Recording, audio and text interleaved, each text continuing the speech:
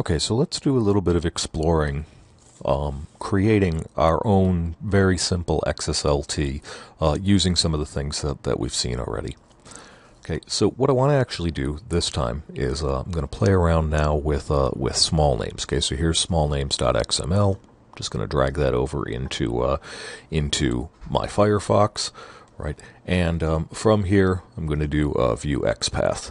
Um, if you had view, if you had the XPath checker open before, um, what you'll need to do is close it first, and then uh, and then do view XPath again to make sure to uh, to see kind of the the current uh, document, right? So here we have you know a bunch of uh, a bunch of data, basically our uh, our names data. Now recall these names are selected at random when you run the small names XSL um, on this. So your names um, may actually be will most likely be different from mine. Okay, so I can do, for instance, you know, see what, uh, whoops, see what name we have, right? So all of the name elements are as follows. So let's look at uh, how we can actually take this data and just start writing it out kind of as plain text. Okay, that is, can we uh, can we very easily write an XSL that's going to allow us to uh, to generate um, just the names spit out, and then we could dump them to a text file, etc. Easiest way to do this sort of thing, uh, take something like uh, like gradebook. Um, either one of these really doesn't matter, um, and basically just copy this. That is Control C, and then paste Control V. Okay, so I come into here, and I'm just going to call this uh, simple.xsl. Okay, then I will open that up with Notepad++, and uh, and we have our stuff. Okay, so now instead of uh, running it on quizzes.xml, this is going to be run uh, on small names. So I'm just updating the documentation that's in the file, like so.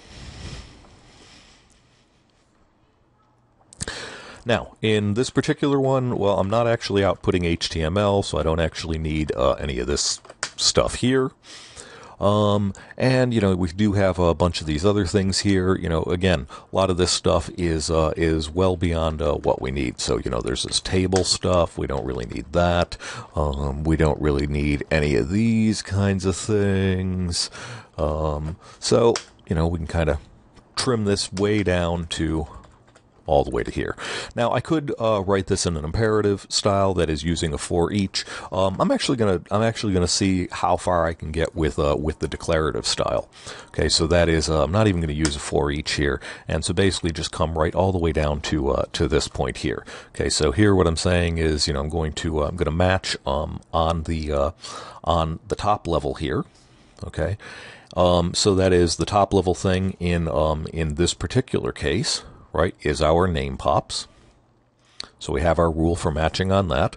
Um, and then I'm just going to go into and apply templates. Okay, so we have apply templates. Okay. And then here, what I'll do is simply select uh, on the type of thing that we wanted. Namely, uh, we're selecting on, so let's see, so we got to the top, so the top thing is a name pops, and then we have a name pop entry, I believe. Yes, name pops plural, name pop singular, and that has name direct. That has basically name and pops um, nested underneath. So I want the name.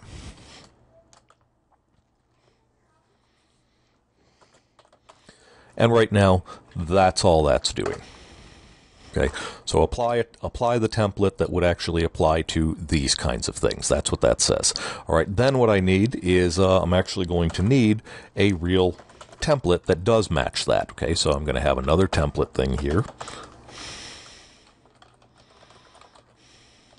And since this is XML, need to make sure to close that um, and in this case, what I'm just going to say is actually so match on the name. Okay, so even though notice this this match isn't uh, doesn't isn't the same as the select, this will actually work. Okay, this will find that name thing and allow us to do what we want here. Now, all I really want to do is print out the value of whatever that name field is. Okay, so uh, that is the value of. Operation, right?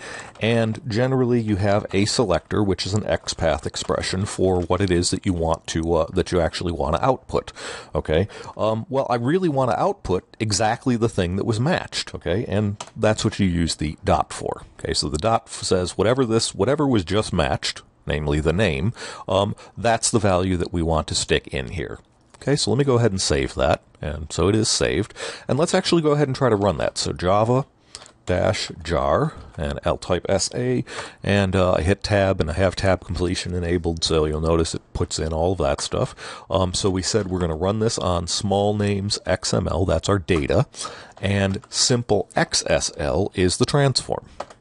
Okay, so I run that, um, and so notice it prints out a little uh, little introduction here, a declaration for an XML document. Okay, so by default, um, XSL uh, basically thinks it's going to spit out another XML document. Okay, so unless we kind of change some things, um, we're always going to have uh, have this little sort of specification in here. The other thing you might notice is that all of these names are kind of on the same line together. Okay, so you know there's a couple of different ways of uh, of kind of hacking around this to get them on individual lines. Uh, let me show you one of them.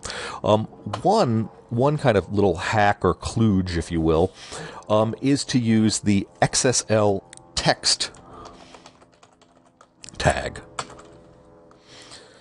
And what you do for that is simply say, okay, here's a, here's the open, and then I have, and then I basically just uh, went to the next line. Um, so the XSL text tag basically says output literally this text, and the only thing we have in here is a new line. Okay, so we'll take a look there. Again, rerun this. And now notice we see um, all of our elements, Cheryl, Waldo, Albin, Retta, um, basically on a new line.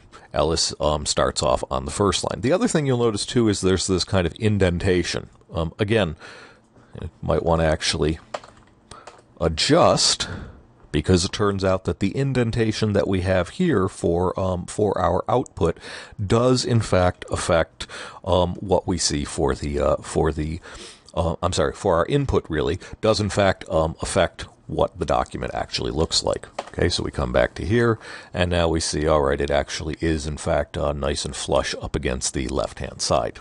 Okay, now let's play around a bit with um, with this whole XML output declaration.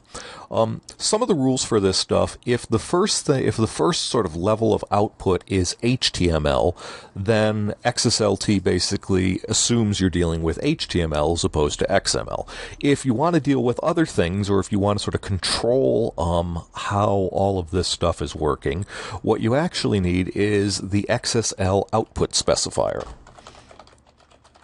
Okay, so it's the, it's a tag, um, and then you can simply say the type of thing that uh, that you want. All right, so here I can say, okay, I'm actually dealing with uh, with text. All right, so I do that. And you'll notice now we have um, just the text. We we no longer have our you know here is the particular version of XML because there's no reason to declare this as an XML because we've told XSLT that uh, that we are in fact dealing with text only. Okay, so we have uh, something that's actually formatted a bit nicer. Now, one other thing is, you know, again, I mean, we may in fact want to decide to sort these things or alphabetize these names. Okay, turns out in XSLT that is dead simple. Okay, so all I'm going to do is I'm going to come up to here. Okay, now the sort tag can actually be applied in a couple of places. Sort can exist either as a child node of an apply templates tag, or a child node of a um, of a for each tag. Okay, and in fact, in fact, I think you'll actually see right. So here um, in the original gradebook one, we have sort as a child of for each. Um, here in uh, gradebook two, similarly, we have a sort. So let me just show you how this is going to be used. Now what I'm going to do is instead of having this be a self-closing tag because it needs to actually have a child inside it or underneath it, if you will, um, I need to close this tag separately. right? And then inside here, I can simply say that I want um, these particular values sorted, right? Um, what do I want to sort, or what value that do I want to sort them on? Well, the name themselves, right? And that is the um, the particular thing that is selected by that XPath. Okay, so that's all I need to do. I simply say, okay, sort these. Um, by default, it's going to sort ascend in ascending order. Um, effectively, for our purpose, it's going to be alphabetical order. Um, and so when we do that, come down to here, run this again, and now we see our output coming out in alphabetical order. Okay, so that's kind of the way that I suggest you you develop these things. You know, again, write a little bit of stuff, test things out, um, and iterate until done.